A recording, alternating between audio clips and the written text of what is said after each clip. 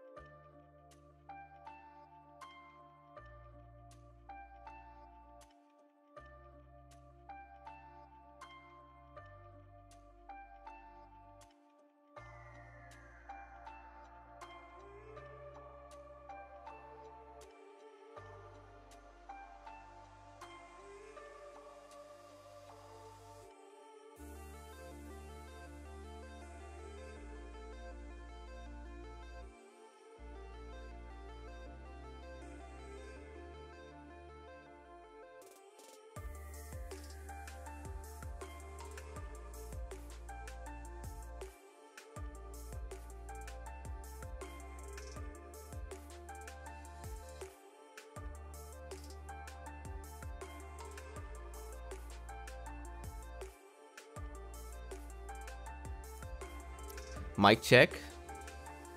Mic check.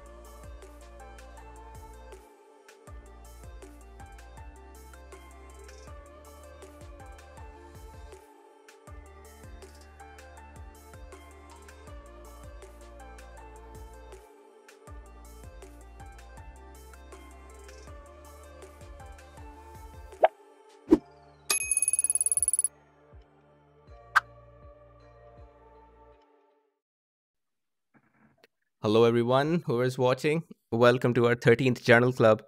We are doing something special today. Instead of having a guest, we are looking at the safety and efficacy data of the three SARS CoV 2 vaccines that have recently been popular in the in the news. Um, it's important for everybody to know about how these trials were conducted, what all parameters were measured, and how do we decide whether something is safe or not.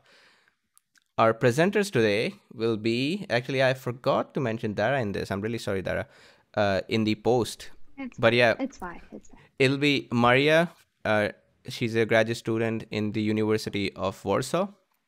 Samriti, she's a graduate stu- student in the, in the University of Ottawa. Tanu, uh, she's a graduate student in the University of Florida. And Dara, who is uh, a graduate, also a graduate student at University of Paris Cercle, which I just pronounced how to say. Thank you, Dara. Uh, right before we begin, we have a five-minute video of some of the underappreciated superheroes, the scientists who worked day and night for making this vaccine possible. Not all, not just one vaccine, all of these vaccines possible. So give me a second. I'm going to share my screen, and we'll go from that.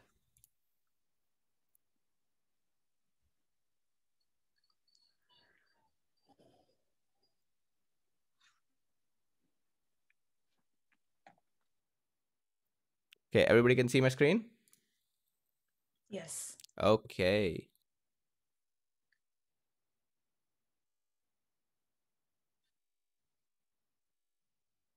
Actually, I don't have to. Sh- oh, never mind. Let's do this. on drugs and vaccines are feeling At this point, being so close to what kind of could be considered a finish line, it feels very surreal. We've come a long way in 12 months. the people working on Did drugs and pause it? vaccines are feeling pressure like you never have.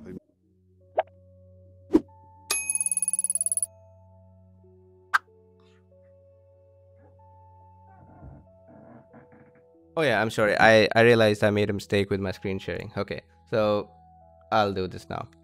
Everybody ready? All right, I'm gonna begin now. Sorry guys for the confusion. At this point, being so close to what kind of could be considered a finish line, it feels very surreal. We've come a long way in 12 months. the people working on drugs and vaccines are feeling pressure like Did you never have. I mean, this is there's never been anything like It's this. A global pandemic killing Share millions of people. I don't think Dunno, it's being played on the stream directly. Anything could have prepared me for, for this. No. I never dreamt that we would be the first first ones uh, to uh, to show that our vaccine could uh, have an impact uh, of efficacy uh, against uh, this uh, this virus. There's no question the pace of work has increased, but this is not unfamiliar. Uh, this is something we do for other vaccines as well. we are in a different moment now than we were when we started in January and as we went into the phase one in March. Um, and now the vaccines, um, all inclusive, not just ours, really serve the purpose of, as you can say, save the world We knew first weekend in January when we were waiting, that having that sequence, knowing that it was a SARS virus, we were going to be able to move quickly and we were going to be able to move with confidence because it doesn't take much for us. One of the benefits of our platform is that we can look at those letters, understand what we've done in the past. We have people in the team who couldn't wait until that sequence was made available and they immediately saw the opportunity, what to use in our vaccine, what to target. The fact that the virus is more stable, that makes it a more easy target for vaccine development. For a vaccine trial to work, there does have to be natural exposure to the illness. That does mean that there is the opportunity to find out if these vaccines work. We have a population that has no immunity. That, has, that makes a perfect window for demonstration of a vaccine. We're vaccinologists, you know, that's kind of a nerdy thing to say. When I say people, oh, I'm a vaccinologist, what is that? All right, but this is our moment because we have a skill set and a vision of what can happen that no one has, and we know we can fix this problem. As vaccine developers, uh, for us it's important to remain um, very transparent and uh, inform about the data uh, we see in our trials. There's a lot of data about how reluctant will people be uh, to take the vaccine you know, we're going to have to have voices who are trusted speak out about this and continue to be open about the data. What I want people to understand is that the safety and the development of these vaccines is not any different than what has been happening before. The requirements from um, the FDA are actually more robust than they have been re- before. I also understand that there are um, uh, issues of lack of trustworthiness. And I say it in that way because understanding that the onus of gaining the public's trust lies in the hands of people like me from the vaccine development standpoint and the institutions where um, I, I, am employed, for example, to earn trust that has been stripped from people um, over the course of centuries. I wanted to make it clear that the work that we've been doing for so long, I personally, I stand by it with with essentially all of my being. I think for many it feels as though we're at the end, we're towards authorization, and that is a, is a milestone. But it's not about that. It's about the next eight months too of making sure we're distributing that vaccine and people feel confident enough to take it. Um, if, if people don't have confidence in our vaccine, then there was no point to, to developing it. So we need to make sure that we actually get to the true finish line. Uh, and then maybe I'll have a moment to step back and think about what I've, I've done and what our team has done and what our company has done. But for now, we are still so in the middle of it that it's hard to see what's on the other side.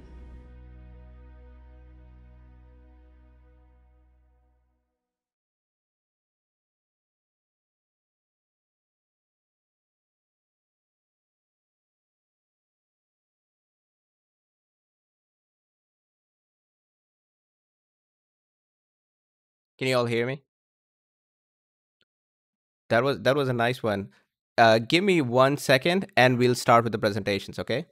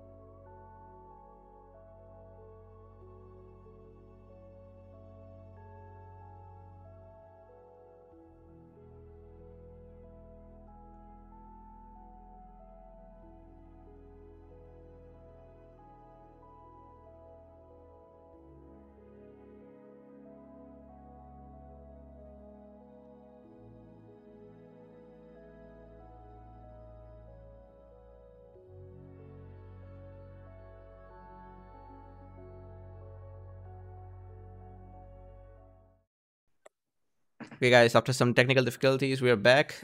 And Dara, I'll hand over the stage to you. Okay, thank you. So just to give you guys an update on this ongoing COVID-19 pandemic, um, so globally, as of the 5th of February 2021, there have been over one, 104 million confirmed cases of COVID-19, including 2 million deaths reported to the World Health Organization. Uh, change please. Yeah. Thank you. So as you know that the COVID-19 pandemic uh, is caused by this severe acute respiratory syndrome coronavirus 2 SARS-CoV-2, which is a positive uh, sense single-stranded RNA virus, and the SARS-CoV-2 genome encodes multiple structural and non-structural proteins, as you can see in this slide. Uh, the structural proteins include the spike protein, the enveloped membrane nucleocapsid proteins. And the structure of the viral spike protein was published in Science back in February 2020. Uh, and the spike protein has been shown to be the site of binding to the ACE2 receptor, which is of interest as a potential target for neutralizing antibodies, for example. Change, uh, please, Tanu. So the development of vaccine was initiated uh, when the genetic sequence of the virus became available uh, early in early January 2020 and has moved uh, at an unprecedented speed with the phase one trial started in March 2020. So currently considerable efforts have been put into developing effective and safe vaccines against SARS-CoV-2.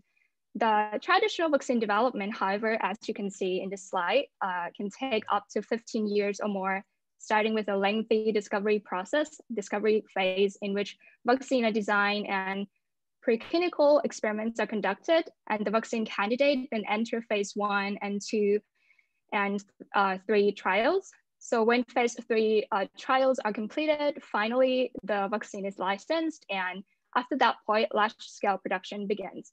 The vaccine development for SARS-CoV-2, however, is following quite an accelerated timeline because the knowledge of uh, that, that, that, that was gained from the initial development of the vaccines for the SARS coronavirus and the MERS coronavirus. And the, the discovery phase was omitted. Existing processes were adopted and phase one and two trials were started. The phase three trials were initiated after the interim analysis of phase one and two results.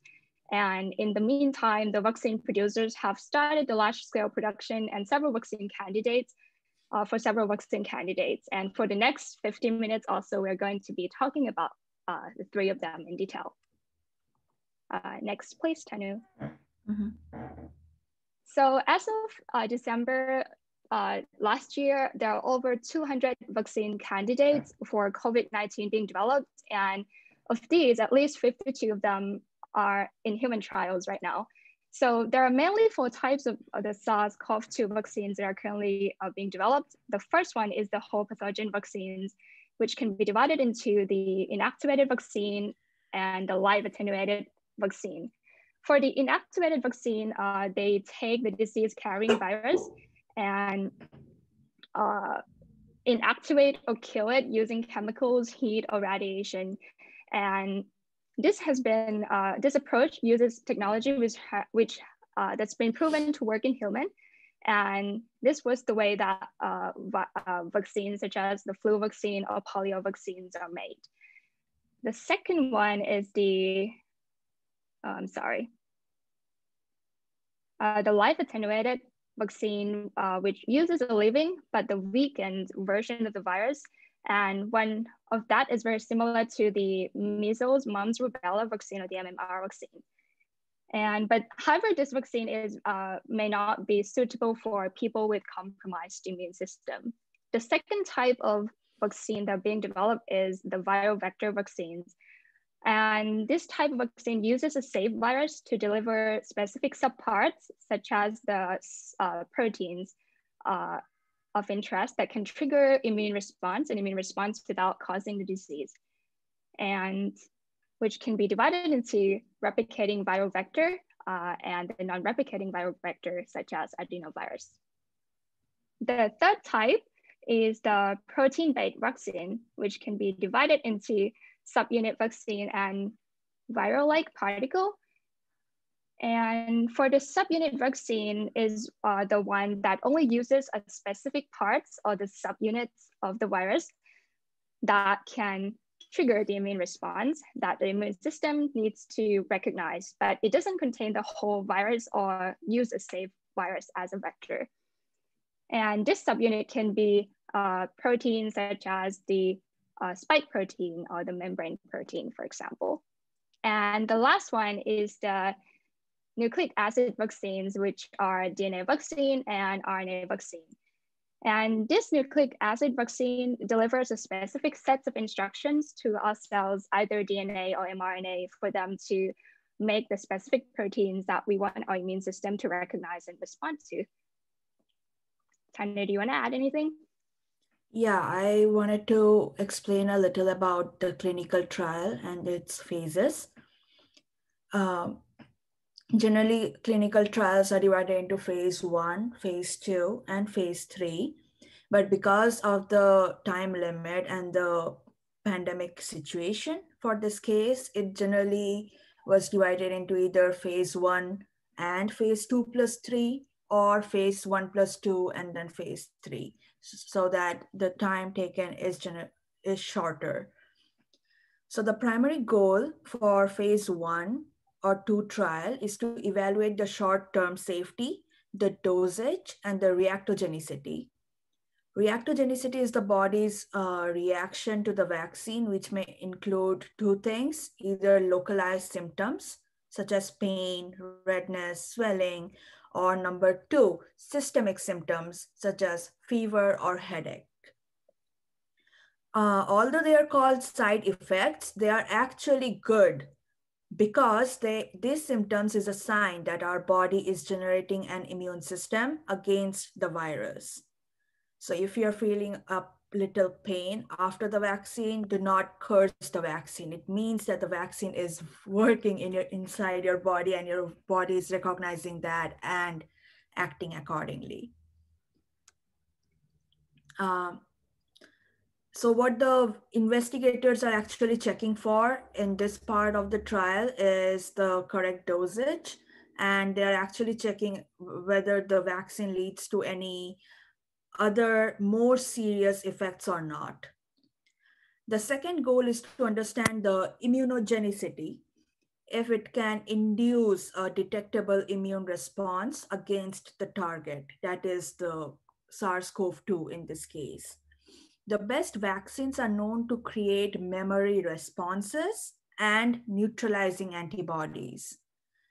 Finally, if the vaccine successfully completes phase one and phase two of the trial, it goes for a large scale phase three, which includes people of diverse age, sex, race, ethnicity, baseline body mass index, and the presence of coexisting condition. So this one generally includes people from all background and uh, environment and bodily natures, and then tests whether the approved vaccine which worked in phase one or two is now working in a far greater population or not.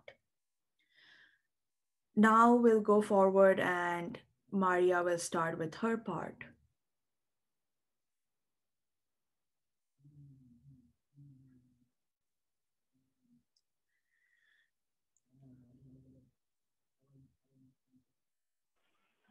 So hi, uh, my name is Maria and uh, I will tell you a bit more about Oxford AstraZeneca vaccine. Um, so uh, first, um, I'm sure if, uh, okay, it's working.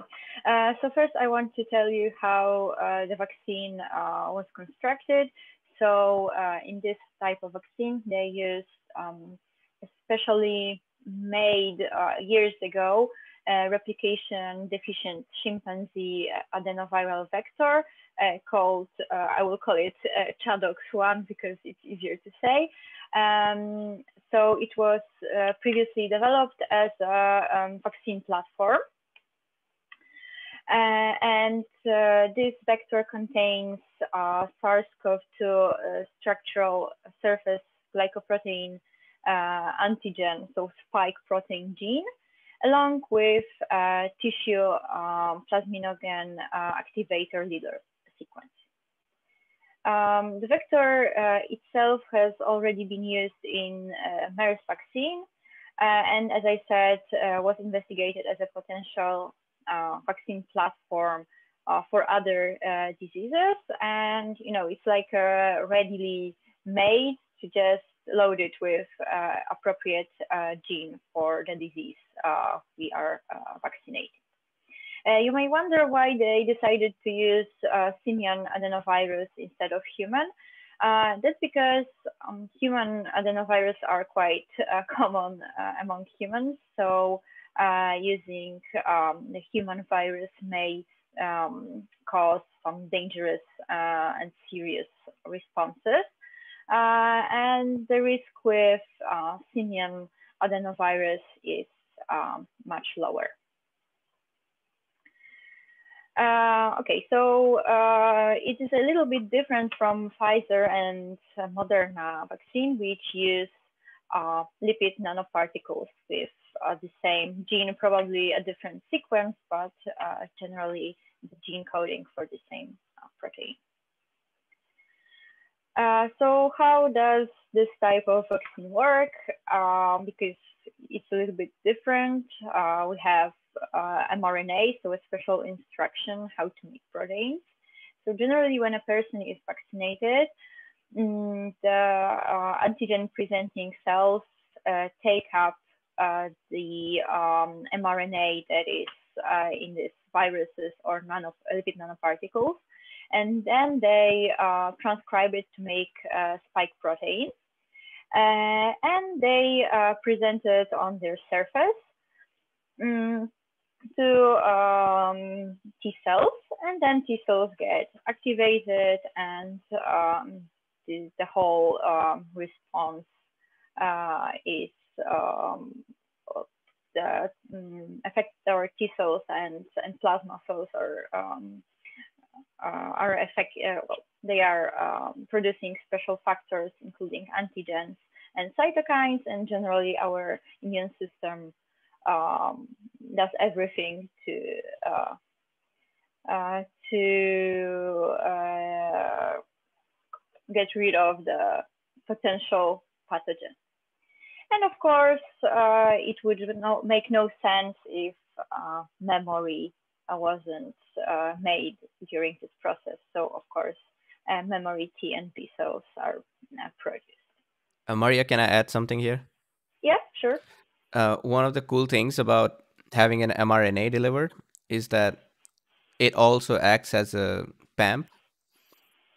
And they, especially dendritic cells, they like to uh, see things in context. So if they see an mRNA, uh, mRNA itself is a it's a danger signal. It's a signal that something's not going wrong. So when uh, antigen presenting cells like dendritic cells receive mRNA, they go through maturation, which allows them to present their antigens even more. In fact, in absence of PAMPs, it is very hard to get a good immune response. So I feel like this mRNA is, is doing twofold job it's transcribing for the viral protein as well as providing the danger signal.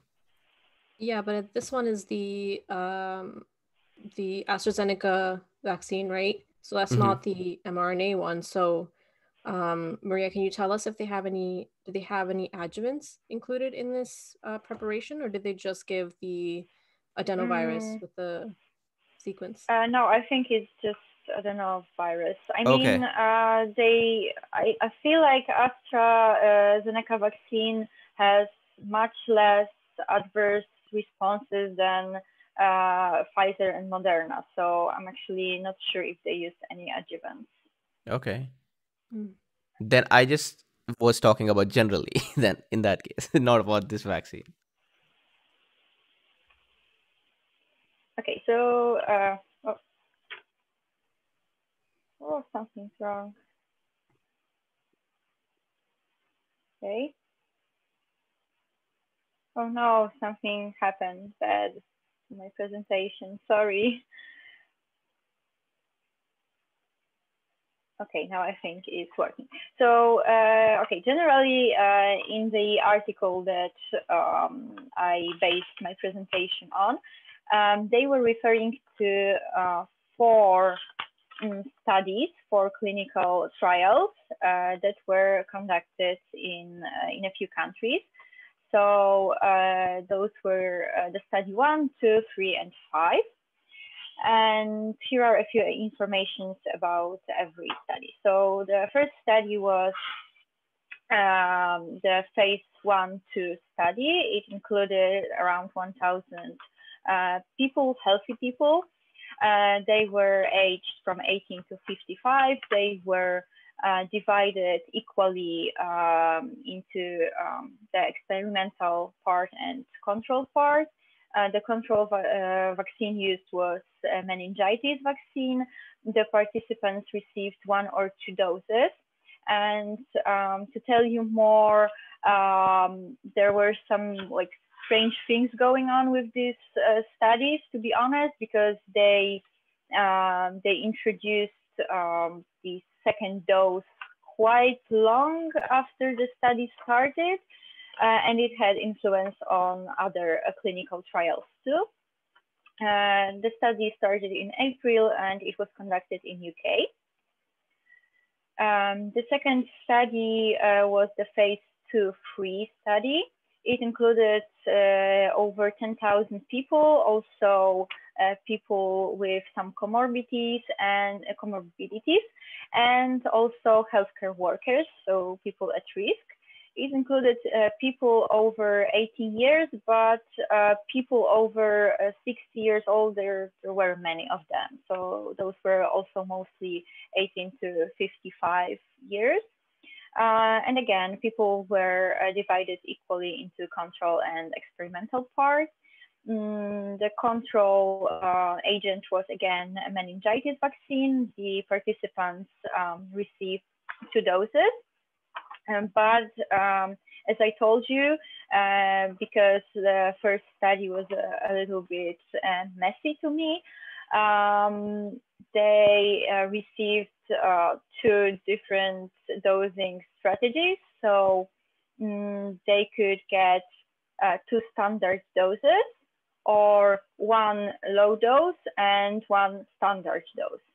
So remember this because it will uh, be, um, I will be talking about it when uh, I will get to the efficacy uh, section. Uh, the study began in May and it was conducted in UK. Uh, the third study was the um, phase three study. it also included over 10,000, around 10,000 people and also people with uh, comorbidities and uh, healthcare workers. Um, also, the age structure was similar. People were also divided equally, but they, uh, the control part uh, received uh, either meningitis vaccine or saline, and they received two uh, doses, only standard doses, and so uh, no group with uh, low and standard dose. It began in June and it was conducted in Brazil. And the last one um, uh, started in also in June, and uh, it was a, a, first and second phase of study. Uh, it included around 2,000 people aged from 18 to 65 years old. Um, the control group received uh, saline. Um, they also got two doses, and uh, it was conducted in South Africa. And out of those four studies, uh, this was the only one that was uh, double blind, which also raises some questions to me. Uh, okay, so uh, the safety information was um, drawn from uh, all four studies, but the efficacy conclusions only from the second and the third study, because um, there were more participants in this one. Okay, so um, during, uh, well, during and after these studies, because they are actually um, still uh, going on, Um, when they were analyzing efficacy and uh, safety, they um, they had to somehow include and exclude people. So generally, exclusion criteria uh, for uh, for recruiting people was if they received this um, uh, this vector, this ChAdOx vector before, maybe in some other vaccine. Um, and also um, if they received both low dosage, uh, so in the first and second dose, if the, uh, the dose was low, uh, they weren't um, included in the final efficacy um, efficacy analy analysis. Uh, also, if the baseline seropositivity was unavailable or it, it was positive, they were also excluded. If there were some errors in vaccination, um, also if, uh, for example, uh, they dropped out and there was less than 15 days of follow-up after the second dose, if they didn't receive the second dose, uh, if the participant, for example, resigned, or um, if the uh, PCR test was positive 14 days after the second of course, they also had to analyze medical history, uh, some uh, vital signs. Mm, they collected serum for um, SARS-CoV-2 serology.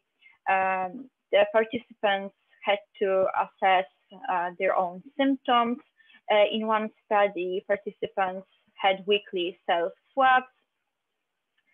And uh, also additional COVID-19 tests were also included in the analysis. So for example, if the, the, um, the employer um, had some tests uh, for, uh, for employees, they were also included. Uh, okay, so here I will present you the results. Uh, first, uh, I want to concentrate on the safety. So this is uh, this SAER serious adverse events. And there were uh, 169 uh, overall uh, events out of around 12,000 people. so 79 were in control, in experimental group and 89 in control. So it was a very low uh, rate of this serious adverse, adverse events, so less than 1%. Um, then uh, they assessed uh, adverse events of special interest. And it was a little bit uh, more because it was 95 in experimental group and 126 in control. But out of those uh, adverse, uh, serious and uh, adverse events and adverse events of special interest, only three were possibly related to vaccine or, or control um, agent but in the end, only one uh, was confirmed to be possibly related because the other two turned out to be connected to unknown disease that um, the participant had previously. For example, one participant had multiple sclerosis, uh, which was revealed during the study. Uh, Maria, can you mention again uh, what is AES, AESI again? What does that mean? Adverse event of special interest. So it's not serious, but uh, they put some, um, you know, some pressure on it that it may be important. That uh, it, it's not very serious. Like for example, it's not transverse myelitis, but still maybe maybe quite dangerous if not okay. And this control was the meningitis vaccine that is approved, right? Yeah, or saline in uh, some of Brazil participants. Okay, so it looks in... like it's it's actually safer than an approved vaccine if you just look at the safety data. Yeah. Okay. Uh, okay, so very important for us now is uh, the subject of how to calculate efficacy of the vaccine. So we take the risk of the disease among unvaccinated group. So it is basically calculated as the rate um, of mm, people who actually got the disease out of all people in this group, uh, minus the risk among vaccinated group, which is calculated in the same way. And it is all divided um, by risk among unvaccinated group or my, one minus a risk ratio. Okay. Uh, so um, let's now talk about the efficacy of the uh, of the vaccine. Uh, so um, in the end, uh, a little bit over 11,000 participants were um, included uh, in this primary analysis of efficacy. Those were uh, from the second and third um, study. and um, 5,800 around uh, received two doses of uh, the experimental vaccine and 5,800 uh, received um, two doses of control product. So what I want to concentrate on is there might be a little bias because as you can see, um, the division between sex is not equal. So there are more women, even though men seem to be more prone to severe COVID. And uh, what I think and what the authors said is that um, it might be because they concentrated on recruiting healthcare workers. And these are mostly women. And also there is a huge bias in ethnicity uh, study in, uh, especially in this second uh, second study. And in the third, it's it's lower because it was also conducted in Brazil, so probably the ethnical um, ethnical well, diversity is, is greater there. But still, there are mostly um, white uh, white people included in the in the study. Um, so the overall efficacy uh, was around 70%.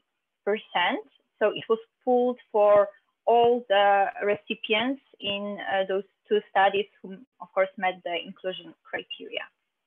But if we look in detail, uh, we can see that there are huge differences between uh, those who received uh, low dose and standard dose and those who received do uh, the two standard doses. So it's like very huge difference. Also, uh, there is a little bit uh, of difference between uh, the study in UK and in Brazil, and uh, all who received um, standard doses were general, had generally lower lower efficacy. So what's also quite interesting is that um, the vaccine is quite effective if we assess symptomatic COVID-19. But if we assess asymptomatic or for symptoms that are unknown, uh, the vaccine efficacy drops. So we can say that the vaccine is quite effective at preventing um, the full COVID-19 disease, but it's not effective at uh, general positive cases, preventing general positive cases. Uh, so uh, as we can again see, the difference between low dose, standard dose, and both standard doses was uh, significant. And uh, also, if we uh, assess um, the same difference, but with longer interval between vaccine doses, so over eight weeks, this difference is slower. It's, it's not significant, but uh, it's very close. But still, I think that uh, this maybe this longer uh, interval may be uh, beneficial. Uh, for standard dose, the interval itself wasn't uh, very, um, the, the difference between intervals wasn't significant. So if we decide to, uh, to uh, actually make this uh, standard dose more effective, so closer to to low dose, um, we could actually use longer interval. Um, okay, so this is the efficacy 21 days after only one dose. So uh, it's not two doses, but after one dose. And as we can see, uh, this efficacy is um, generally it's uh, lower for UK, a bit higher for for Brazil, uh, but yeah, we can actually compare it here. Um, so uh, it's also lower for asymptomatic, uh, symptomatic, and uh, uh well, generally uh, other um, other pooled uh, cases. So if we pool all the cases, then one dose is less effective. But as we can see in Brazil study, it's actually more effective. And um, one of the reasons might be that the control group in Brazil was a little bit different because they used two different control agents. They used saline or meningitis vaccine. And this may be the reason, uh, because as you can see, the uh, control rate percent is a little bit different. So this may be the reason why uh, this percentage is actually different but you know, that's only uh, my idea about it.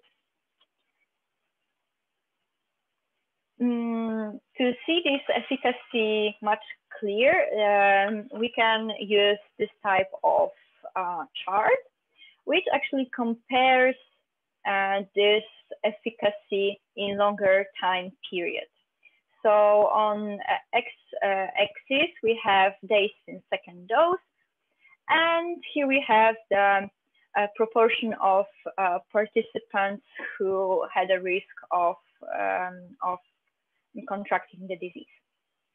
So as we can see here, after two doses, uh, the vaccine is effective. This experimental vaccine is effective at preventing COVID-19. Uh, after only one dose, it's also effective, but this efficacy is lower, as we can see here. Um, so they also assess the hospitalization rate uh, for uh, both control and experimental group. And as we can see, there were only two people hospitalized in the um, experimental group, which shows that uh, this vaccine is both safe and uh, that it's effective at preventing severe uh, COVID-19. Um, okay, and these two cases were actually um, not entirely connected to the vaccine because the first one was on the um, day of first vaccinate, vaccination, so it may or may not be connected to the vaccine. Uh, and the other one was 10 days after first dose, which may be somehow connected, but uh, it may be a little bit uh, also different. Uh, okay, so all those uh, results raise some questions. So the first question is, uh, what about uh, people over uh, 55 years? Uh, well, actually, they were not included in the efficacy analysis, analysis because there were too little of them. because um, they didn't include them in one of the studies and the other uh, they included only just some of them. So uh, it was not possible to um, to raise any conclusions out of that. Uh, and actually, last week in Europe, there were some doubts whether to vaccinate people over 60 years uh, of age with AstraZeneca vaccine uh, because of insufficient data. So, well, to underline this, this vaccine may be effective for people over 60 years or may not. There is a very little data about it. So um, the European countries decided to just wait for some more information. Uh, there is also, uh, as I told you, uh, this case with more females. So uh, as I told you, they focus more on healthcare workers, which are mostly females. Uh, one may ask why there are no children in the studies, and um, there is a very simple answer. It's money. Uh, it's usually much more costly to include children in the studies. Uh, there was also a different time gap. So they didn't actually have this uh, specialized time gap, for example, in you know, three weeks or six weeks. They gave this second dose differently in different people. Um, so yeah, it, it's it's a bit uh, doubtful um, because you know the study design was wasn't really good for me.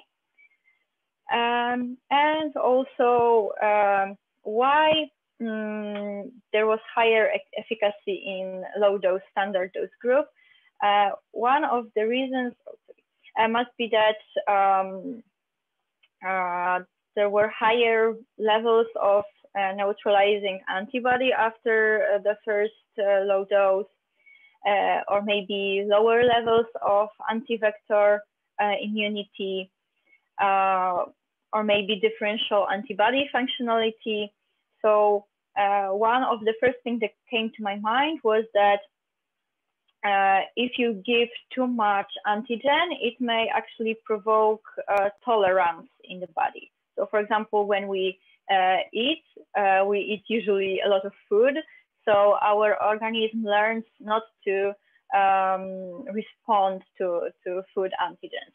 So maybe this might be the reason why low dose is better actually there is uh, very little um, information about it so i think we need to wait for for some more uh, studies on how uh, i have one more guess about that yeah um, another thing with low dose versus high dose uh, vaccination is that the b cells when there is a low dose of antigen the b cells get through go through a more rigorous round of selection uh, in the germinal center so only the best ones get selected. But when there's a higher dose of the antigen, even those B cells that are not as good, they will get selected because there is plenty of antigens available. That could be one reason. I'm just guessing. Yeah, thank you very much. Uh, so to conclude, um, the uh, efficacy, pooled efficacy after two doses was around uh, 70%. After one dose, only 64%. So if you get vaccinated with this vaccine, be sure to get two doses. Uh, the vaccine is very safe as there were no, uh, not many serious adverse events or adverse events of special interest um, the vaccine may not be as uh, efficient as uh, Pfizer or Moderna vaccine, but it meets minimal requirements uh, of uh, World Health Organization. Uh, and it may be enough to reduce restrictions like social distancing. And also, uh, it's great with storage because you can store it in normal refrigerator. It doesn't need freezing in very low temperatures. And actually, I want to tell you about some new information because uh, there is a preprint, uh, preprint in uh, Lancet. So they, um, they think that the longer time gap over 12 weeks before, between the doses increase the efficacy to 82%. So it may actually be beneficial to wait like three months before getting uh, the second dose. And also it is suspected that this vaccine uh, may reduce transmission. So it may not be effective at preventing um, asymptomatic COVID, but it may reduce transmission. But um, yeah, this is all, only a preprint, so we need to we need we need to wait uh, for the peer review, but it's quite um, quite interesting for me.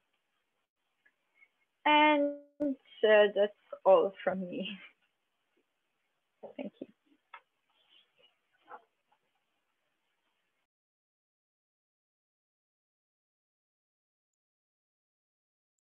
Good one, Maria.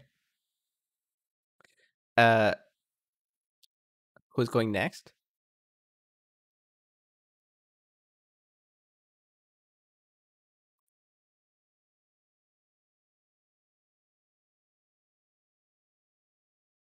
Tanu, if you're saying something, you're muted. Sorry, it's Yeah. me. I'm just requesting the remote control from. Okay. Uh, so yeah, I was gonna say that because you're remote controlling me, uh, if you're muting me, I cannot stop it and ask questions. Uh, so I had some questions for Mar- Maria, but it's fine. I can ask her later. And uh, yeah, now I'm giving it to you, Samriti. Okay, thank you.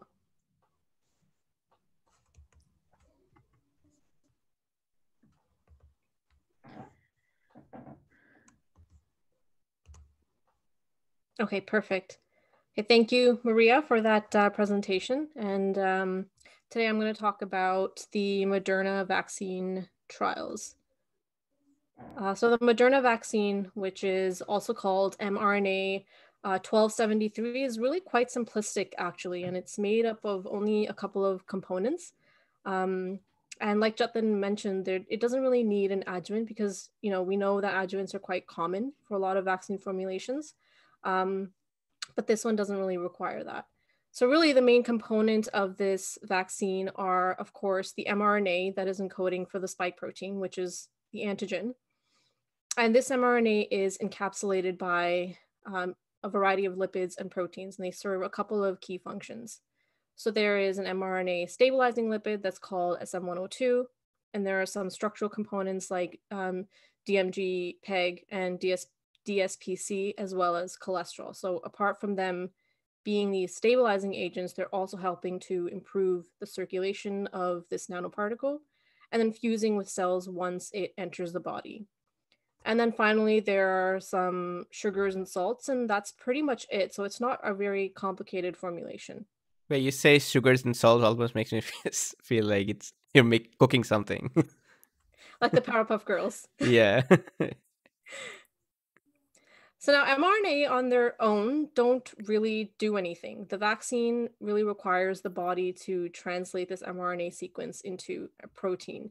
And it's the protein that is priming our immune response. So this vaccine is given intramuscularly and works to prime the immune system in a couple of different ways. So the first way is that the lipid nanoparticle can directly enter muscle cells, and this is shown in the top panel. And this is where the ribosomes are translating that mRNA into a spike protein, which is the actual viral antigen. This antigen can then be secreted into the circulation or it's cleaved in the cell and presented to MHC class 1. And the second way is that the lipid nanoparticle can enter um, antigen presenting cells. And this is shown in the bottom panel. And this is where, again, the spike protein is translated and presented to MHC1 to prime CD8 T cells. But even more importantly, is that the circulating spike protein can be taken up by these antigen presenting cells and be presented to MHC2. And MHC2 is priming the CD4 T cells and the B cells, which are the um, antibody generating cells. So there's a great study uh, published in 2017, and it was published in Molecular Therapy by Moderna that looked at this mechanism of action of their mRNA vaccines. And the study was done with an influenza vaccine in non-human primates. And they found that the vaccine induced antigen-specific CD4 positive T cells and that the lipid nanoparticle was draining to the lymph nodes. Um, so in the lymph nodes, the mRNA was being translated mainly by the DCs and monocytes, and their prophylactic treatment was leading to the generation of a very strong uh, vaccine-specific immunity. Uh, So I just have one a very general question. If any of you know, uh, why do we always give shots in the muscles? I honestly don't know why. Why can't we do subcutaneous or anything else? I think doing sub Q is a little bit more difficult. It might require a little bit more training. I'm not, I'm honestly not entirely sure. So are are you saying that b- both could be as Yeah, good? giving uh, yeah, giving subcutaneous injections is generally needs more focused. like well, I observed my sister uh, doing doing some uh, subcutaneous injections, and it was like you know very slow, and intramuscular are very fast. So yeah, I think that's that's, that's okay. So it's just convenience. Is that what you're saying? I think so. Okay.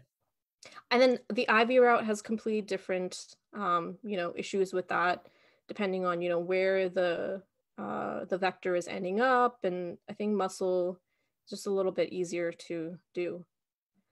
Um, so now to uh, test their effective dose, their safety and efficacy of the vaccine in preventing the disease, they performed uh, two key phases of testing um, called phase one and phase three.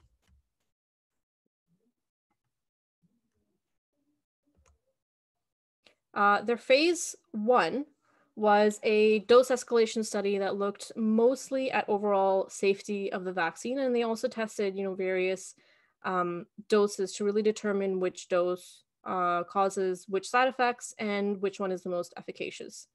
Uh, there were 45 people that were recruited for their phase one study, and they were equally divided into three dose testing groups, and they were monitored for adverse reactions and their immune response, uh, mostly in the form of antibody titers and antibody neutralizing ability. And this, this study essentially concluded that the 100 microgram dose is kind of the sweet spot where the adverse reactions are tolerable, but also uh, enough to induce very good immune responses. And so, with this information, they performed their big phase three clinical trial where they looked at the actual ability of this vaccine to prevent infection. So for this study, they recruited almost 30,000 people and they divided them equally into um, placebo and treatment groups. They recruited anyone uh, over the age of 18 and they actually had quite a number of people that were in the uh, 65 and older age group. And they gave the treatment group two doses of the 100 microgram dose, 28 days apart, and then measured them for safety and efficacy.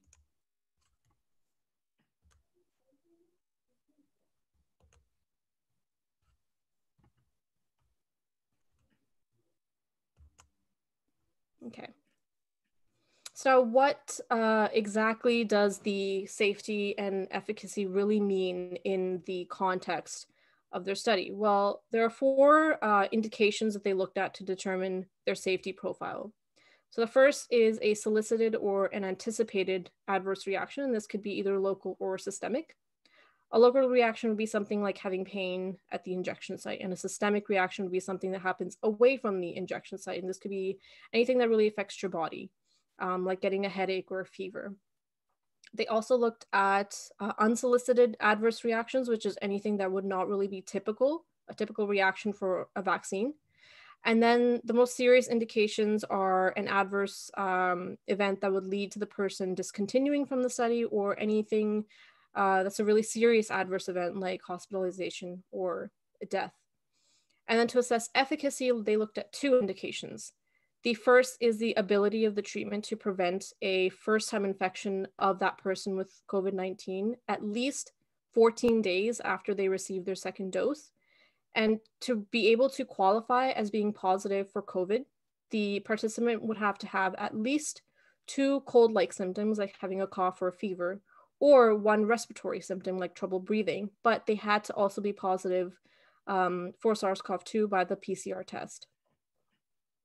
Their second indication was the ability of the treatment to actually prevent severe COVID disease. So, among all of the people in the placebo and the treatment to get COVID 19, how many of them have a really serious disease that would lead them to being on oxygen or having organ failure, and which group are they from? So, this is, I think, very important because you know, as we know, vaccines aren't perfect. And although it's really important for them to um, be able to prevent you from getting the disease in the first place, it is also really important for them to be able to reduce at least uh, the number of people getting very, very sick.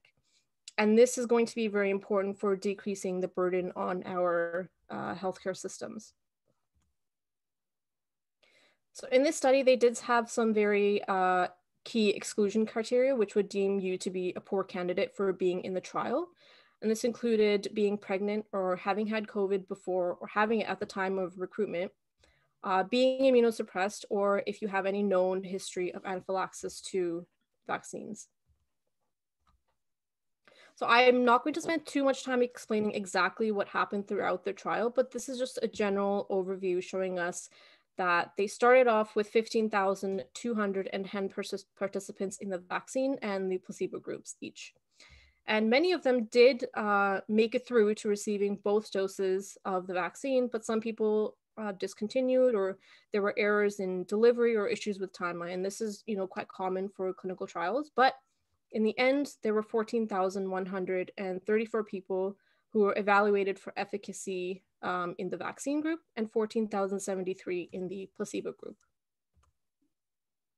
So I'll first uh, discuss the safety results.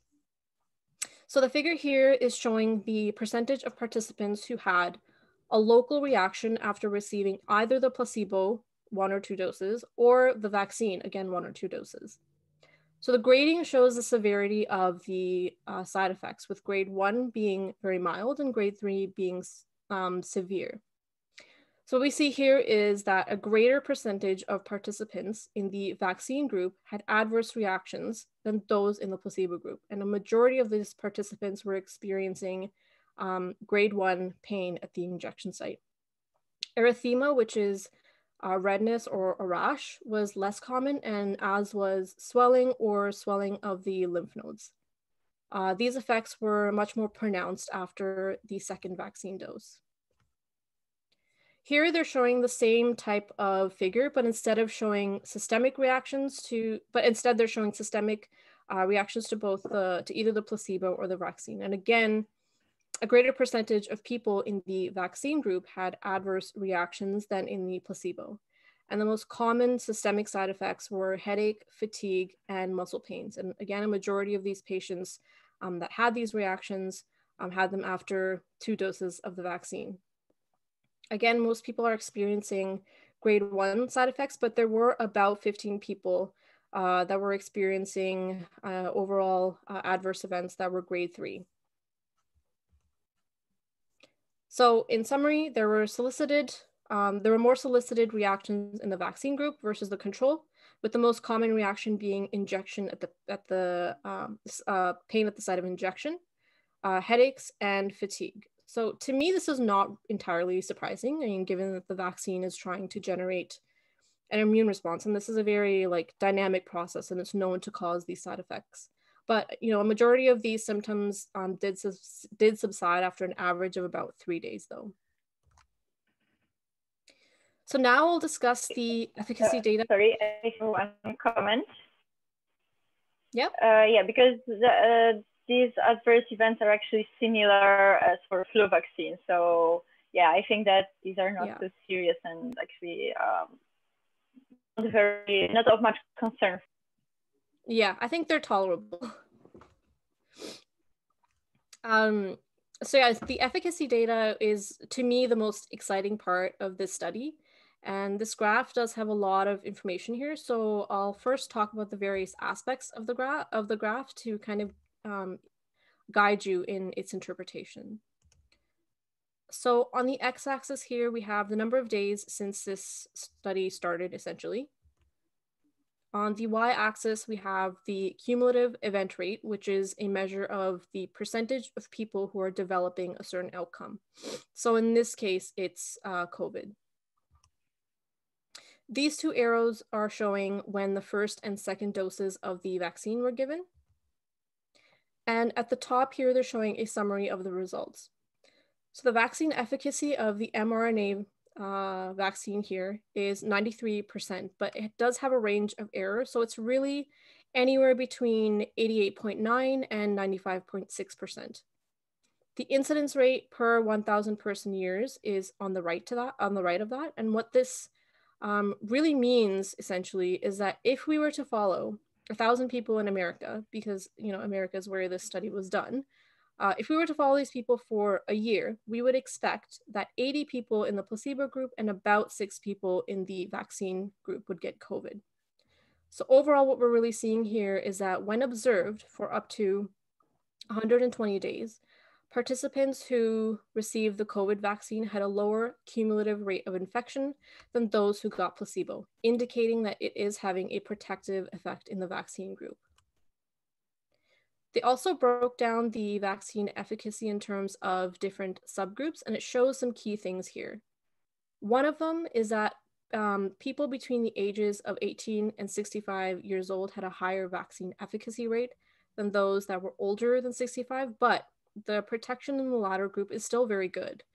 Um, sex does not really seem to significantly change the efficacy outcomes, and neither does race, race or ethnicity. So people, um, they also looked at people who are at risk for severe COVID, like those that have um, other comorbidities, and they were still benefiting from a very good uh, vaccine efficacy. So the long story short here is that over the 120 days of the study, 185 people in the placebo, and 11 people in the vaccine group developed COVID. All of the severe cases were in the placebo group, and the level of prevention of COVID in the vaccine groups was consistent across uh, a lot of different subgroups like age, uh, sex, ethnicity, and comorbidities. You know, but I do have to say that there were quite a number of limitations to this study, and I think it's really with time that um, they'll be able to tackle these problems. Uh, the first is that they are only really assessing the efficacy outcomes after two doses. So they do make a mention in their study that it was not designed to assess the efficacy of just one dose of the vaccine. So whether one dose is protective enough or not, we don't really know yet, um, and they did not test for that. The second is that the results of the study published here were from a very short period of time, about three months. Uh, but you know, of course, this is a developing situation, and they are continuing to monitor these participants even now, and they're going to continue to do so for about two years. So hopefully, we'll get even more data in the future from this study. And we have to remember that in this study, they're looking at whether the vaccine can prevent someone from getting COVID, but they tested it in a real world setting of social distancing and mask wearing. So even though they included healthcare workers in the study who would be at risk, a majority of them were not healthcare workers. So now, of course, whether or not we can actually give the vac- the vaccine group SARS-CoV-2 is more of an ethical dilemma, and this was, I think, discussed at length uh, last summer. Um, but in this study, they they did not do that. And I honestly think uh, one of the major flaws of this study is that they did not look at asymptomatic infection. And I think that looking at that at this parameter is really important because it would start to answer some questions about viral shedding. And if if you know if you're vaccinated, can you still pass the virus on to someone else? Um, if you end up being somehow asymptomatically infected. And we don't really have the answers for this right now. But I think for the short term, this is not really a hindrance for us being able to reduce the healthcare system burden of this disease. Um, so this may be something that would be important later on once we have, you know, a, a really strong grasp on the disease. They also did not look at pregnant women or children in the study, which are an important group, and it does go back to the whole asymptomatic infection question, um, because we know that kids generally don't experience severe COVID. And finally, right now, there is not really any correlate of protection for any COVID vaccine study. So this is not just a limitation for this study, uh, but for all of the vaccine candidates. So right now, we don't really have an answer as to, you know, for example, what antibody titer would be, um, what antibody titer would be enough to ensure protection from COVID. So the only real measure we have is that the number of people who do or don't get infected. But again, this is probably something that I think the scientific community is exploring and we'll probably know more about it um, with time. So with that, I'm going to conclude the Moderna vaccine study and pass it on to Tanu.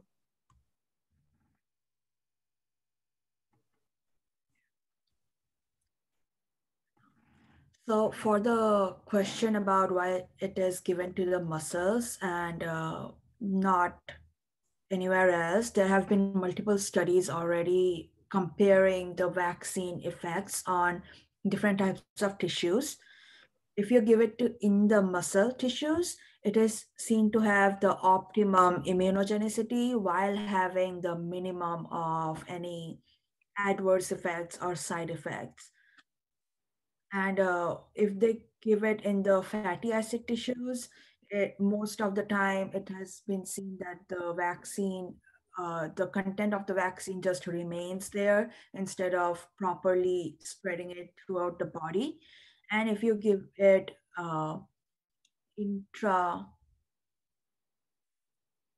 intramuscularly, sorry, intravenously, it has been seen that the seroconversion level is low and there is higher decay of the vaccine of the antibodies against the vaccine. So the administration via muscle has been seen to be perfect. I wonder if um, just a second. I wonder if the muscles are also helping to disperse the antigen, just like how the lymphoid, the lymph uh, fluids are moved around by the muscle movement. Yeah, I think it is. Uh, I think it's speculated that the muscle is producing the protein from the mRNA, and the, the protein is, um, you know, being put into circulation by the muscles. So that's also serving as a source of antigen. Okay. Tanu, your uh, screen is not being shared. Yeah, I'm trying that. I feel after the mRNA vaccines, these things are going to become the norm. They'll replace. It also feels seems like they're easier to produce. I attended a, a talk by the uh, some guy, I think some scientist from Moderna, and he was talking about how little uh, how little equipment they need compared to the production of giant proteins, for which they need cell cultures and all those thousand liter reactors. For this, they just need a an equipment big enough that could be fit inside any of our labs. So it's pretty useful in for any every sense. Saves money as well. Yeah, I know mRNA vaccines have not been used very much in the past. So these studies really are providing a pioneer to more mRNA based vaccines. Okay, can I start? Can everyone yeah. see the screen?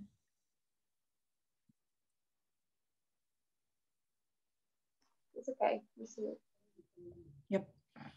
Um, so hi, I'm Tanu. I'll be presenting more about the Pfizer and BioNTech vaccine, which is the BNT 162B2. So Pfizer and BioNTech coordinated to test four vaccines, out of which two went forward to clinical trial one and finally, the BNT 162b2 was the vaccine which was used for clinical trials three and two and three, and now is in the market.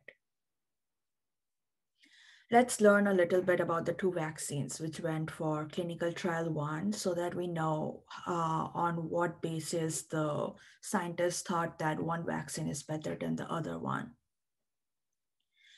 BNT 162b1 is a messenger RNA, but inside a lipid nanoparticle.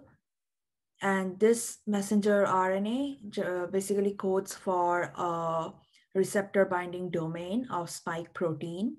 Spike protein is the most immunogenic part of the SARS-CoV-2 virus, and it codes for the receptor binding domain uh, against which most neutralizing antibodies can be formed but receptor binding domain by itself is not immunogenic in a human body. So what they did was they added the um, T4 fibrating fold on domain, which is basically a T4 phage head domain, uh, and it increases the immunogenicity by making this content of the vaccine multivalent. These lipid nanoparticles can be taken up by our human cells, releasing the mRNA, which will be coding for the RBD, receptor binding domain region of the spike protein, and does help uh, leading to immune response from our body. The second vaccine, which went into clinical trial one, was BNT 162b2, which is also a mRNA inside a lipid nanoparticle, but this time this messenger RNA encodes for the full length spike protein of SARS-CoV-2. And uh, this mRNA was also modified with two pro proline mutations. And this mutation specifically locks the spike protein into a conformation, which can best induce neutralizing antibody production without undergoing multiple mutations or variations in the spike protein. There were two phases of the study. One small phase was the phase one with a smaller group of people, and then the phase two and three was done together with a larger and more diverse group. Uh, Tanu, I have one question. Mm-hmm. Is this the proline substitution where it differs from the Moderna vaccine? Or is it also the formulation in which the mRNA is dissolved?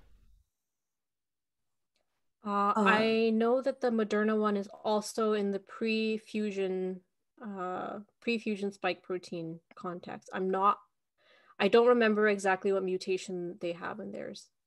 Okay. It's the same. Uh, I don't know whether exact same proline was mutated, but it uh, the aim was the same to make it a prefusion and Mhm. uh, more stable, which will have better antibody neutralizing antibody. Yeah, uh, they're very similar. reaction. Mhm. Okay. For the phase one, there were 195 people, and uh, it was in the age group of 18 to 55, and then there was another age group of 65 to 85. So uh, I don't know why or how, but multiple people studied out the BNT 162B1 vaccine, and there was one study which compared the BNT 162B1 with BNT 162B2 study, which I'll be talking more about. And then they didn't do a one to one ratio. Again, I don't know why they did a four to one ratio where four, uh, four, four fraction of the people or the participants got the vaccine and only one fraction got the placebo. There were multiple doses tried out 10 micrograms, 20, 30, and 100 micrograms. The 10, 20, and 30 were given in two doses, but the 100 microgram, because it was very more reactogenic and caused adverse effect, it was only given in one dose. And it was conducted uh, mainly in the USA, the comparison study, but the preliminary BNT162B1 studies and their immune system, immune response studies was done in Germany. Okay, a little about uh, the phase one part of the trial. What they did was, uh, I'll highlight some main points which I found interesting or controversial. One main point was that they had more females than males. Also, I think uh, it is also what the previous people suggested that it is based on the healthcare workers, more female than male, but uh, who volunteered to be a participant, but it is, it was more females than males in FSA. Uh, although that's not an excuse, but there were more white people than any other. Well, it's U- United States, so the, uh, if there are more white people in the country, so I can uh, understand why that would be. Yeah, but it was like way more white people, 93%. It's like just one black person volunteered and one Hispanic and two Asians. But anyway, uh, not going much into the phase one, I'll just highlight the main point and why the uh, one vaccine is better than the other one. There were two previous studies which I told you about in Germany uh, by Sahin et al. and Mulligan et al. about phase one clinical trial of BNT162B1. And but that study was mainly done in the volunteers of age group 18 to 55 years of age. And they also explained the CD4 plus, CD8 plus, and IgG responses against BNT162B1. So I would highly recommend you to go, uh, go read that studies to know more about this part of the vaccine because I'll be talking more about this vaccine. Uh, but both the vaccines had below serious level of local and systemic reactions and which were dose dependent and temporary. And as I told you in the very introduction, that although they are called adverse effects or side effects, we have them only because when the our body's immune response is acting against the virus. That means it is recognizing the virus and the sorry recognizing the vaccine and the vaccine is immunogenic. Otherwise there will be no point of giving the vaccine if our body doesn't react to it in that way. So although it is called side effects it, you should be happy that you're having that. Uh, and uh, the symptoms mainly picked uh, at the day after vaccination and got resolved within a week.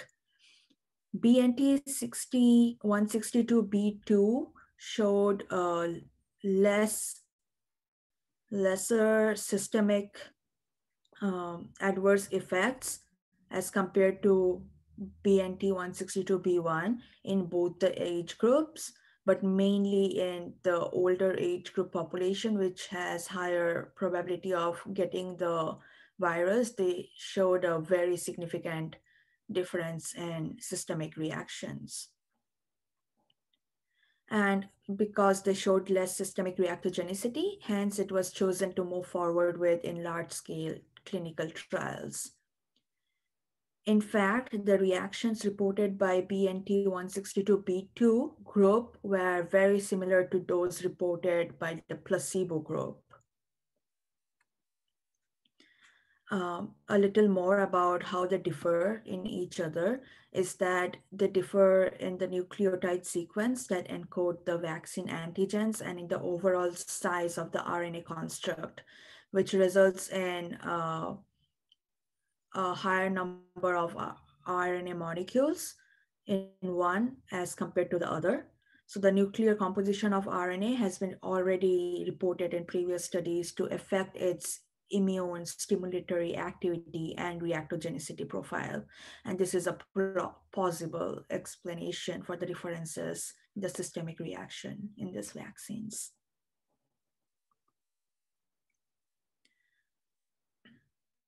Okay, so similar IgG levels and 50% uh, neutralization titers were observed between the samples from both vaccine groups.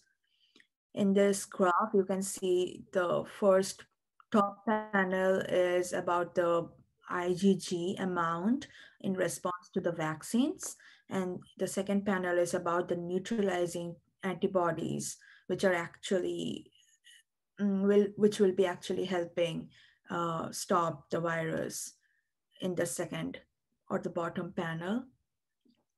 And uh, the res you can see the response after the first dose, which is in the first arrow and day one in each panel is almost nothing. But after the second dose, which is day 21, there is a significant uh, IgG as well as a significant um, sorry, just the significant IgG. But after one or two week after the second dose, there will be the optimum or maximum in uh, IgG in all the age groups. And as for neutralizing antibody, after the first dose and the second dose, there isn't much neutralizing antibodies, but it takes time after one or two weeks after the second dosage, you can see the maximum neutralizing titer, which was higher in participants of age group 18 to 55 years of age as compared to age group 65 to 85 years of age. But still, it was very, very comparable with HSC, which is human convalescent sample. And this sample is a positive control. These are serum samples from patients who have survived COVID 19 and the antibodies which are present in their serum. So you can see the vaccine almost produces equal amount. Uh, but at least, okay, so this working of the immune system takes time and you do not get resistant immediately after the second dose and definitely not after the first dose. So be cautious and intelligent about when to exactly stop following the social distancing practices, which I would suggest stop following it maybe after the herd immunity, but definitely after two weeks after your second dose. Um, but at least this study showed the importance of administering the second dosage. And if you stop after the first dose, you will basically have nothing which is shown at mm-hmm. day one at, at each time point. In the phase two and three of the study, now with the BNT 162B2 vaccine, they had 43,548 participants above the age of 16. Now they divided the participants in one-to-one vaccine and placebo groups. They had two dosage of 30 micrograms and the study was conducted in USA. As I said, there were uh, there were 40, multiple participants screened, out of which uh, 43,448 were injected with either placebo or vaccine, and they tried to keep the ratio one to one. And uh, then it shows how many people received dose one of the vaccine and dose one of the placebo. And after 21 days, they received dose two of either the vaccine or dose two of the placebo. And finally, the study was followed up uh, one to two months after the second dose, and they kept collecting the serum samples. One major uh, similarity that they kept in the study too was the maximum number of people were white. That is 93%, 83% of their participants were white. And it's uh, much better than the safety trial. I know. There's more than one black Uh, person here. I know, right? so, and something they improved on was the male to female ratio, which is almost one to one now. And they also improved on the age groups. They have uh, 50% of people in the age group of 16 to 55 and 50, sorry, so 42% of people, participants who are above the age group of 55. starting with their local reactions. Local reactions including uh, pain at the site of injection or irritation or swelling, redness. Uh, the most faced reaction was mild to moderate, which you can see in green or blue color here. Most people face just mild or moderate local reactions only there were almost no redness and swelling. Very, very few people faced it, but uh, multiple people faced pain at injection site, which was again resolved within one to two days. One thing to notice was that the participants of the age group 16 to 55 experienced more localized pain than participants above 55 years of age. The very good news was that there were not a single participant who reported a grade four reaction, So grade four reaction is when you know the vaccine is actually can be harmful to certain people. Grade four reactions includes necrosis or exfoliative dermatitis, which can be life-threatening. So basically, it's like uh, the vaccine is killing the cells in your body. So there were no grade four reaction in any people.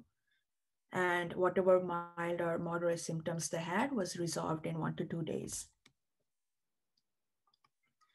Now they went and looked at the systemic reactions, which was more common in participants below the age group uh, 55 as compared to above 65 years of age.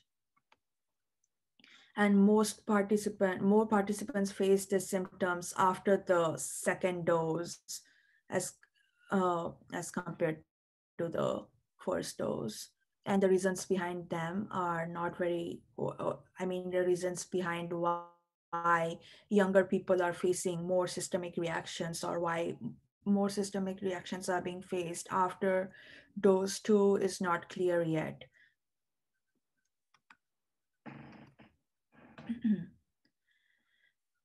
Okay. So after they gave vaccines dose 1 and dose 2 to the large population they went forward and tested uh, the vaccine efficiency against COVID 19 after seven days of the second dose. Because, as I said, the immune response and the neutralizing antibodies, they take time to produce and be on the optimum level. So, after seven days, uh, they saw that there were eight to nine people in the vaccine group who got COVID as compared to 162 or 169 people in the placebo group who got uh, COVID. And if you take the percentage, you see that the vaccine is almost 95% effective after the second dose, which is really, really good because FDA says that anything is a vaccine if it is 30%, just 30% effective, but it is this vaccine is 95% effective, which is much more than the minimum requirement. Um, I, I like. Uh, can you go back? Look at that stats. Uh, Tanu, can you go back to the yeah? Look at the stats. What's the probability that this vaccine is more than 30 percent efficacious and very high probability? Yeah. So I like how what... in science we can't say 100%. It has to be 99.999%. Yeah. Uh-huh, uh-huh. Just like your toothpaste, it can clear 99.9% of the germs in your body. but that one germ, I don't know about that. yeah, it's, it's, it's good to be on the side of caution because somebody comes up with that one case and your whole one probability yeah, of one is ruined. yeah. If some one after getting the vaccine they're like how am i infected? They're like see it's 99.999% and you are that 0.0001% who got it. Okay. Uh, now coming to the efficiency based on the different age groups or other criterias you can see that in all the age groups, whether above 60 per 16 years of age to above 75 years of age, the vaccine was very, very effective, uh, around 95%. Somehow in people above 75 years of age, it was 100% effective. But that is also because the, the number of participants above 75% of age was much lower as compared to the other age group. Um, yeah, it was uh, again 95, around 95% effective in both male and female. Uh, in black population, it was 100% effective. So yay, go uh, get vaccinated, everyone. This is really good. Something to see also is that the efficiency after just one dose is not that good. You can see in this graph, which I have uh, magnified here, the data is after uh, dose one and before dose two, the vaccine is just 52.4% effective.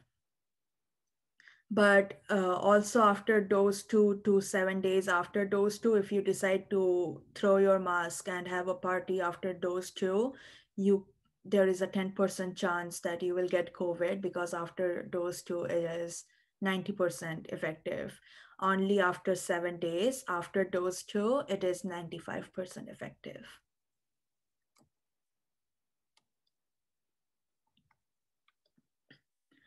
A little more from another study from Sahin et al. Say, tells about the immune responses against uh, by our body against this BNT162b2 vaccine. Tanu, just just a heads up that uh, your screen is slightly blurry, so try to tell us more details in by audio. Okay. The first graph A here shows IgG, which is the total number of antibodies against this uh, vaccine.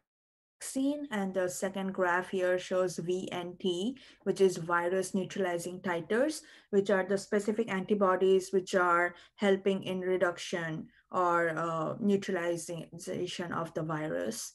And the x-axis here shows the days after initial vaccination. And wherever there, there is the arrow, is when the second dose was given. So in each case, you can see after the first dose, uh, which is day eight he here, sorry, seven days after the first dose, which is day eight here, there is no antibody production at all. And there is definitely no neutralizing antibody after the first dose.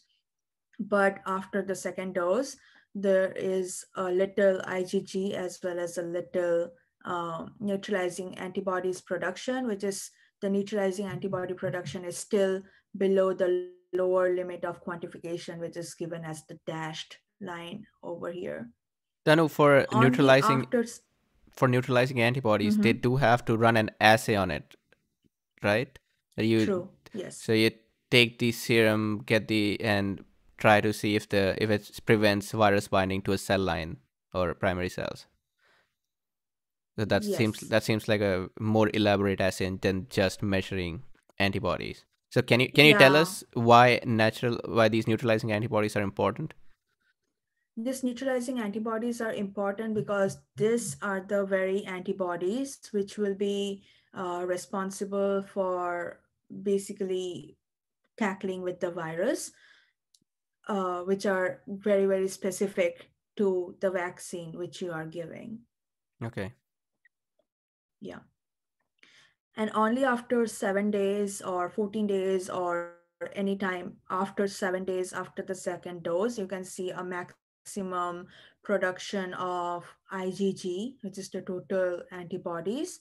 And uh, similarly, there is a maximum production of neutralizing antibodies only after seven days after the second vaccine dose.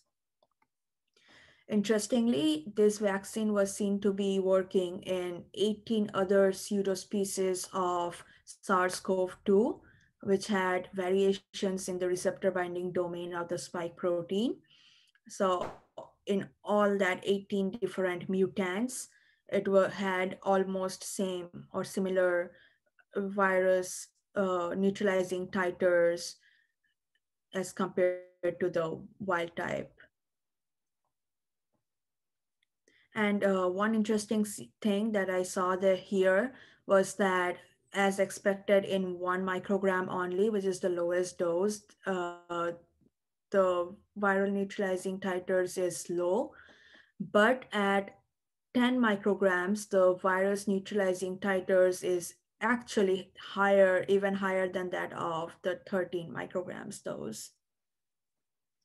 It might come back to what we were discussing with Maria. Mm-hmm. It, there's sure. got to be an optimal dose, not too high, not too low. Yeah.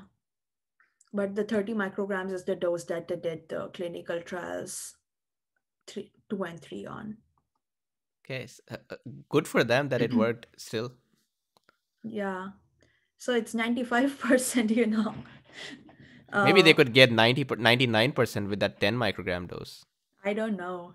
Yeah, That that's maybe. me being an a- Asian dad. you could have done better, right? Yeah, you could have done better. Yep.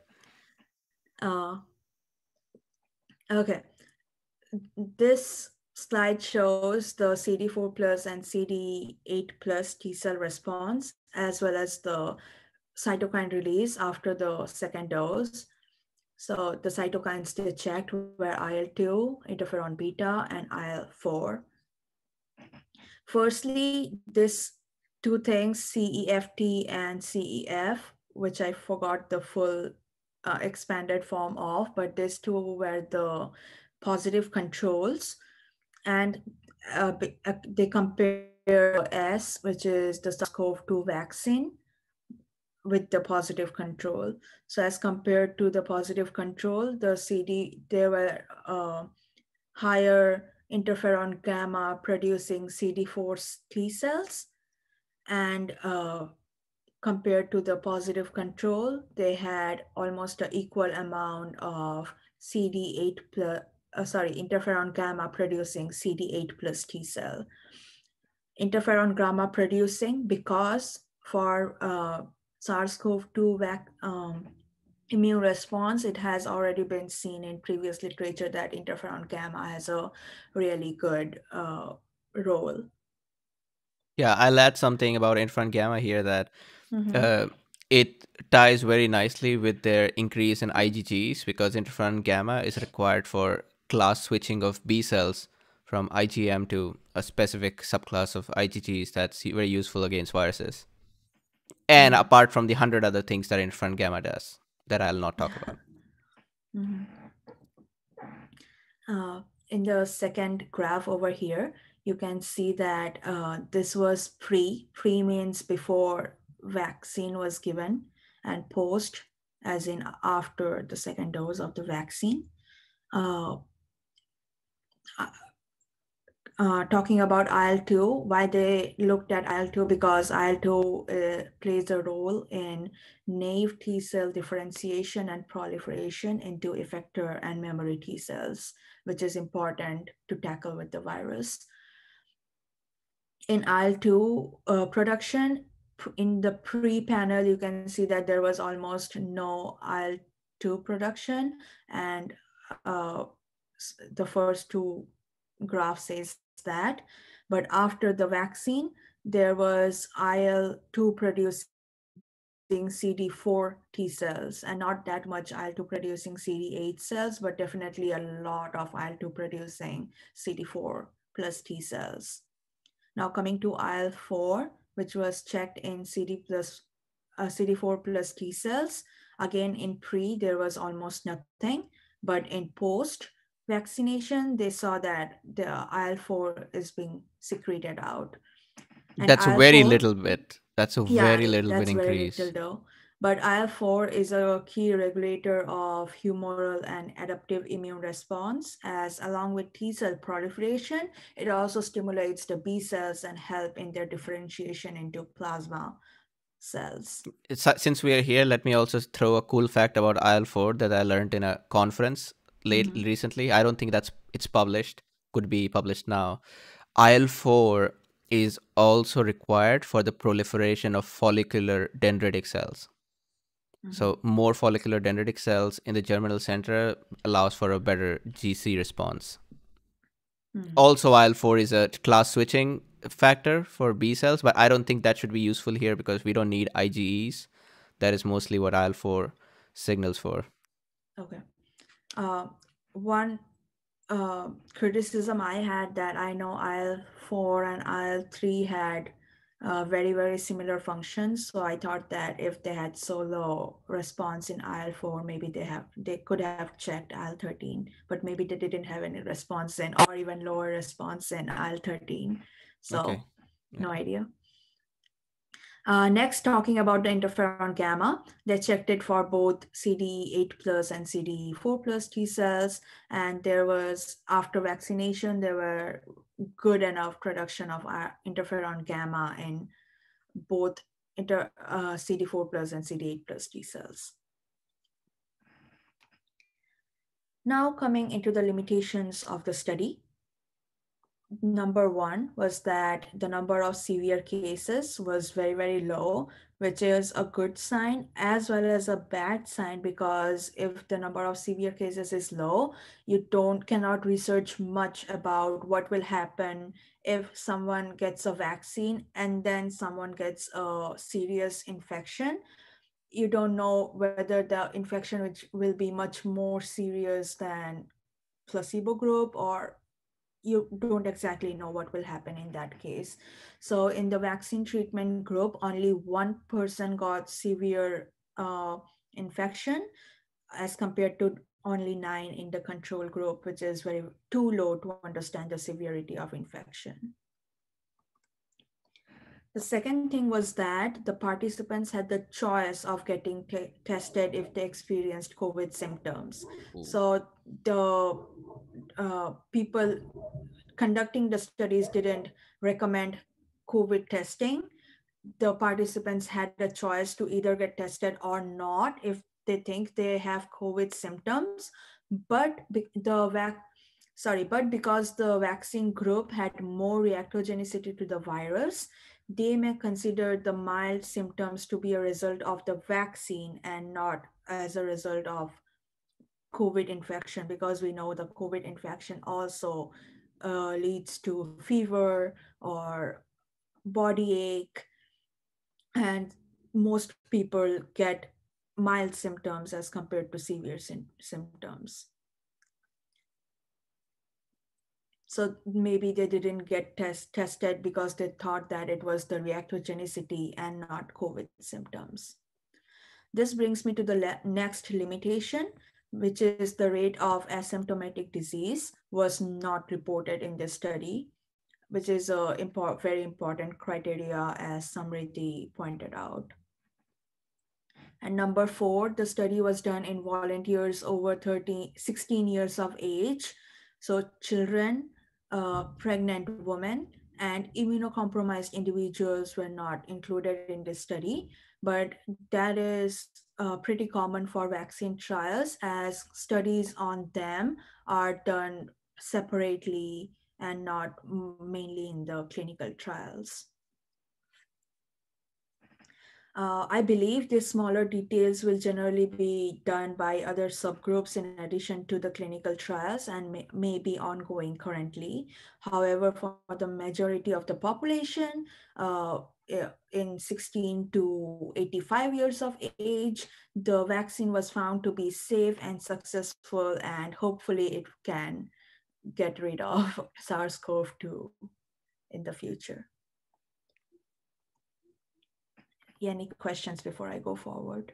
Yeah, I had one thing. So, are they reporting their severe cases in control or patient or the vaccine recipients if the people report it to them, or are they going and checking these people, the volunteers, after a period of time?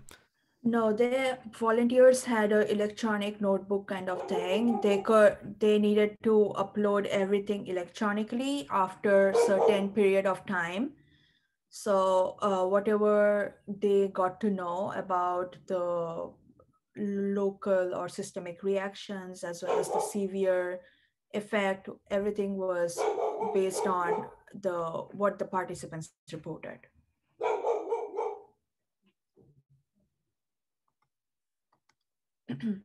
okay. So all the researcher, uh, we really want to acknowledge a lot of people for the vaccine trials as well as other things. Firstly, we want to thank all the researchers who went out of their comfort zone to work with a novel virus, which is, it doesn't, to hear it, it sounds very simple, but it is super challenging and complex. So they went forward, uh, went out of their comfort zone, worked with the novel virus, and contributed to basic science knowledge and drug screening data, which, if you remember, we had basic screening with remdesivir and uh, chloroquine, which was important to know that whether they're working or not to go forward and cancel those things and go forward and uh, do new vaccine trials. You forgot about about the major drug that was endorsed, bleach, which luckily did not make it to the trials. we also like to acknowledge the scientists who shared data. Uh, yeah, the scientists who shared data and developed methodologies and techniques and finally made the vaccine. we would like to thank the clinical trialist who performed non-stop high quality work under pandemic health emergency conditions, staying away from their family for long period of time, for days, for months, wearing uncomfortable clothing, but still working for the benefit of the others. We would thank the volunteers, sorry, for the uh, volunteers who helped by participating in the studies. And for participating, you need to believe in science, which you did. So thank you, volunteers. You took part in the vaccine trials. Next, the government, uh, some more than the others, uh, who created standard and market for the vaccine. And very, very thank you to our audience who compromised their normal lifestyle to stay at home and support social distancing. And that's the end of our today's presentation. Hope everyone liked it. Jatin, do you want to add something else or anyone, do you want to add something else? I can stop the share screening. Well, Jatin, I want to ask you as a third party viewer of our presentations, if you were given the choice, which vaccine would you get? oh, as I will go with the numbers. That 95% sounds good. Sometimes too good to be true, but well, yeah, I'll go for that. Right now, I'm so was... desperate. I would just take any if they're giving me. But yeah, Including if I had a the choice. AstraZeneca one. Yeah, why not? Seventy percent. That's higher than thirty percent. yeah, that's true. that was a very nice presentation, guys. It was a perfect start for the Saturday now I'll tell everybody around about what I listened to today, and I'll realize people don't want to talk to me anymore. um, oh, we had some comments. Uh, Pawan Kumar Neglur, he said, uh, "In indeed, it is a fact of life that not being able to say that something works hundred percent. And if you are an immunologist, yeah, if you if you can say something works seventy percent of the time, that's wo- way more than what you should be com- comfortable for." Like, as an immunologist you're constantly saying yeah that is something but there's an exception there's an exception and there's always exceptions in that now we ha- now we know that because the main reason because why everything is differing from people to people is their microbiota and we have mm. no hmm. control over that a human has no control over someone else's microbiota uh, so it definitely will be different based on person to person how you are getting the any symptoms whether you're getting infected or not. And uh, this gives rise to a very cool area of study called personalized drugs. But definitely we cannot make personalized vaccines right? But mm-hmm. if you want to research more about it i'm talking to the audience that you can definitely go and research more about personalized drugs maybe in future there'll be we'll have distinct profiles of microbiota and we'll be able to group people based on these profiles and we can have safety efficacy data for each profile. So we'll know this drug works if this person falls into this category of microbiota. but again there will be 95% efficiency in those categories because people will differ. No that's why we'll have to profile these people before. Take their poop samples uh, yeah, and mm-hmm. get get their microbiota. Uh-huh. I found yeah, this. Uh, also, uh, oh yeah, yeah. yeah. Um, Maria, you continue, go. Continue, continue, Um, okay, so uh, generally you are saying also uh, about uh, you're talking about microbiota, but also it's worth noting that also uh, the um, glycosylation profile might also be influencing how um, everything goes with vaccines because um, the antibodies can also be uh, distinctly glycosylated, which also is influenced, for example, by age, by our lifestyle, by generally by everything. So it also may influence how the vaccines work among uh, different people. But we also don't really uh, know that now in, in greater detail. Mm-hmm. Yeah. anybody thought about this that letting the ribosomes do all the work is good because it, we we I don't think we understand exactly what the ribosomes do. I know uh, we do know what they do, but how or the to the exact details that we can replicate something, we can replicate a ribosome in in the lab. So I think just giving it the mRNA and doing it, letting it do the job, just like how it would let the virus transcribe its mRNA, it's the mm-hmm. safest control ever. Mm-hmm. Yeah, you can't go wrong. If the cell can make it for the virus, can make it for you, and that'll be closest to the real deal. Mm-hmm. Because when you go to make proteins, you have to work on so many details about the conformation, the post-translational modification, and then you inject it, and it turns out no, that's not immunogenic or not providing the same results. Mm-hmm.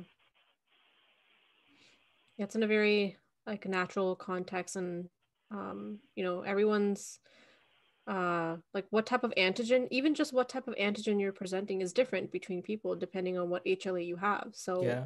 you know it's not necessary that it's going to be one type of epitope from the spike protein so just giving the entire protein and letting the your individual body just make um like cleave that protein into its individual epitopes is is I think much much more beneficial than just giving epitopes or giving proteins for sure yeah uh, yeah, I agree. The HLA is another confounding factor, and we mm. and there's just so much variety there that people don't even put people in category anymore with that. It's just yeah. too much work. Yeah, do you guys have any other questions? Any other remarks? Uh, uh, I don't know, like uh, there are more than 100 other vaccine participants who are still ongoing studies, some of them which has just one dose as compared to two dose and uh, thinking it from the people's perspective, maybe the th- uh, vaccines with one dose will get more popular in the future. But for now, we really believe that th- these three vaccines, AstraZeneca, Moderna, and Pfizer, uh, will be good enough for at least this year. And people should definitely keep on social distancing, even def- after the first dose, it's like nothing, you get nothing. So you have to be socially distanced, but also at least one month after the second dose and till the herd immunity is achieved that is other people around you are getting vaccinated too um, now that you know more about the vaccines, talk it out with more people who are not in the science field so that more and more people know about the vaccines they are taking. And once they know more about the vaccine, they would be more confident in putting something inside their body, which is not essential oils or uh, bleach. bleach, disinfectant, or any kind of special therapeutic food. Yep, that's all. Spread the knowledge. That's what. That's how I want to end this. Magda, do you want to say something? Maybe I will. I will add something because as a medical student, student, I received the second dose of a coronavirus Pfizer vaccine yesterday, Ooh. and tonight I felt like some kind of dizzy. I had some chills and fever, but I'm very happy I got that, and maybe I will update you how do I feel uh, with the vaccine and how it works. Definitely. So, yeah. I got vaccinated and I'm very happy. Uh, many people close to me got vaccinated with Pfizer because it was my mom, my sister, my boyfriend, my boyfriend's mom, my boyfriend's dad. So really um, many people, and uh, they all had some minor uh, adverse events like you know pain, uh, a little bit of fever, but they are all very happy to to get two doses. So I think it's still quite beneficial. And I think it's not much different from flu vaccine because I was vaccinated in November with flu vaccine and it was quite similar. I didn't have fever, but I had very serious arm pain, but mm-hmm. I feel it's still worth it. And last week I got also tetanus uh, vaccine because of my head injury. And I also had arm pain, so I guess it's similar for everyone. Yeah, I remember having arm pains for like three to four days after I got my HPV, human papilloma virus vaccine. and uh, that was uh, discomfort to be true. But then I was also happy that I'll be protected from it in my future. Yeah, I ha- I've never had any discomfort with the vaccine, so I have no stories to share with that regard. Discomfort Maybe... is so much better than all the hospital cost you're gonna have. Yeah. Uh, including your life cost if you get the virus, right? yeah. But yeah, I think this would be a good point to end the discussion. Very nice uh, presentation, guys. I'm gonna share this with people who don't agree with me so uh, about vaccine safety so they can not watch the discussion and still not agree with the safety like have the essential oils you want but also have the vaccine. Yeah together sure. better. Okay i'm going to uh, end the stream now. Everybody was watching. Thank you guys. We'll see you next week. No next week we have a podcast scheduled so that'll be on the spotify but next to next week we've got dr Catharine Bosio who will be coming from and uh, yeah, it will be coming from NIH, and she'll be talking to us about a very cool paper. I'll post about that. Okay. Thanks, everyone.